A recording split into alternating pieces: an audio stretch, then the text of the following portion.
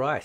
So, um, I have a really good comment uh, by this dude, and uh, and he says that um, what do he say? I'll go. Let me just uh, let me just load it up, right, so I can see it, and I'll tell you. It's on the it's on the thumbnail anyway. He goes, I don't know his nickname. Oh, it's it's, it's triple dollar sign D money gaming triple dollar sign commented, How the heck did you edit watch mode back into MK1 and 2? Well, I'm about to show you, right? And the reason why I'm about to show you um, is because I've been thinking about doing just some little help, um, helpful videos like this because I, I love Mugen. The, the people that make Mugen projects are fantastic. Um, I've sort of got my own little Mugen project I'm bumming around on, which is basically just kind of like a massive battle royale, just any and all characters you can possibly get. And, and people have already made that, so I, I may not even bother, right? Um, but anyway, so the the way the way that um, the way that uh, Mugen projects work is this: it's a basic uh, a fighting game engine that people can put their own custom characters in, stages, etc., etc. They can take them from actual games or make their own characters or stages, uh, sound effects, uh, UI, so like um, you know how the health bars look, everything like that. It's fantastic. It's really good. I've covered it, covered a lot of games on this. I will continue to cover a lot of them on this channel, um, so that way you guys have an archive. And of course, being a big Mortal Kombat fan, naturally I have a bunch of Mortal Kombat Mugen games and that's my entire list so far, right? But these is what I would consider my cream of the crop. These are the ones that, to me, are absolutely worthy of keeping on my computer. Now, the comment was, how do you edit the watch mode? Well, let's go into the one he was talking about because it was kind of difficult at first.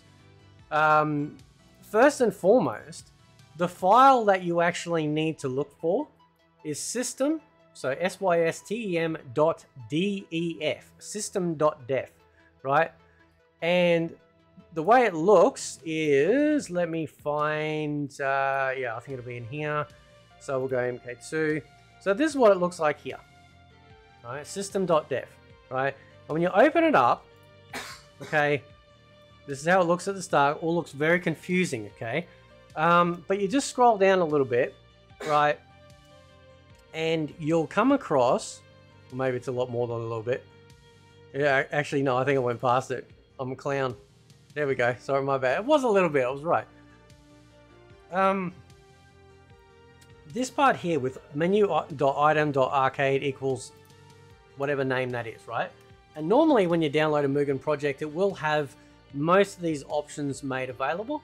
Some people uh, that make these projects specifically don't want you to have access to certain menu items. Maybe it's because they couldn't get it to work with a certain UI layout that they wanted to have, so it wouldn't have looked, looked good uh, selecting it. And, um, and so they, they remove it. The way they remove it is simply by deleting the name. So you've just got the, uh, the two uh, inverted brackets, and that's it, right? So obviously, if you find the system.def and you find this part here and the, the watch mode is empty, you simply type watch, go file, save, and then you're done. Now I understand his question because if he's downloaded this and gone, hang on, there's no watch mode, I'm gonna get it, go edit it, I'll go into MK2, oh there it is, I'll just edit it there. No, right? Sometimes the creators of these a little bit smarter than the average bear. So essentially what it is, is you just either, you can either do like a file search uh, for system.def and find all of them. Uh, or what I normally do, I do a little bit more old school. I'll actually just try other different folders and see whether or not it's been moved or replaced or made to be the primary source of information that the game is looking for when you run it. So in this instance, um, from memory, because I, changed them both to be sure, but I remember it was either this one or the one in X system that I changed. And um, either way, I made sure that both of them had watch in the watch part for the menu, right? And then I saved it, okay? And then I loaded the game up, all right? So that's the file, system.def. You right click on it, you go open with, you choose notepad or whichever sort of like wordpad, whatever, and then it will open up, you'll be able to read it, and you can come in and change the options however you like. As you can see here, Team Arcade's gone, Team Co-op isn't there, Team Versus isn't there. So you can actually take someone's project and modify it for yourself. So I'm not, I'm not, um, I'm not modifying this um, for myself. Got itchy back. Hang on. Best back scratcher, back scratcher ever. Right.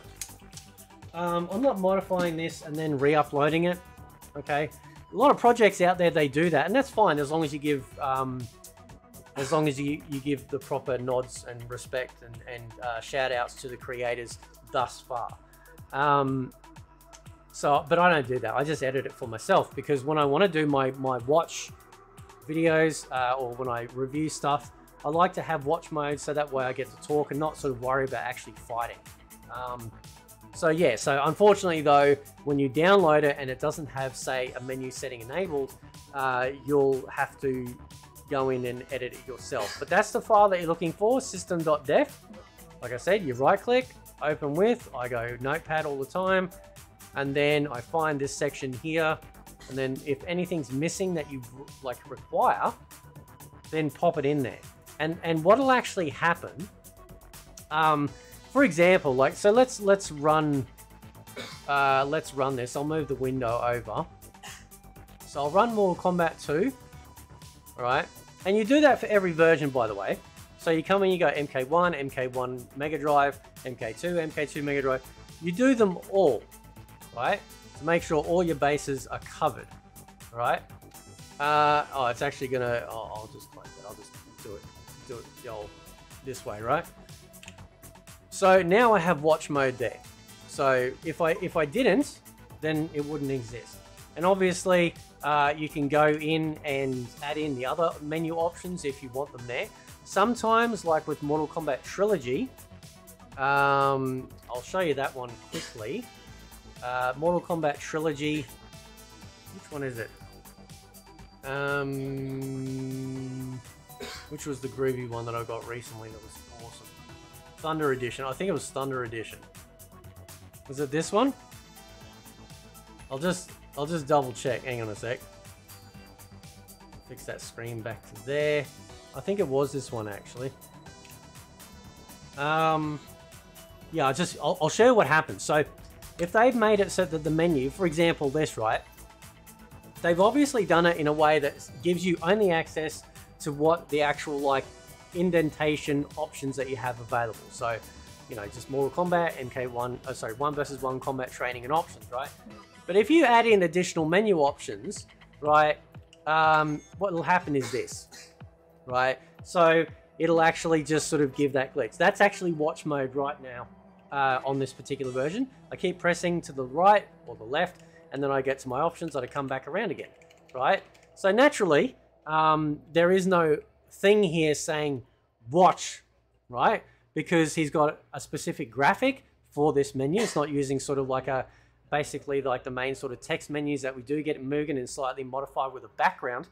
Um, so he's actually used the proper Mortal Kombat Trilogy uh, menu selection, and that's why it appears this way. But you can still have access to full watch mode regardless. And this happens with all of them, right? I think I've managed to, yeah, I don't think I've had a Mugen project yet that has made it so that I could not add in menu options for my, you know, uh, for my game, right? So that's how you get watch mode back or anything back uh, for Mugen projects. And um, yeah, that's that's um, it's pretty cool. I've been wanting to cover that for a while. Sorry if I seem a little bit down. I've just got some real personal, full-on stuff going on at the moment. Nothing, nothing like health related, just uh, legal, legal stuff. So anyway, guys, I'll leave it there. Let me know what you think, and I will catch you next time.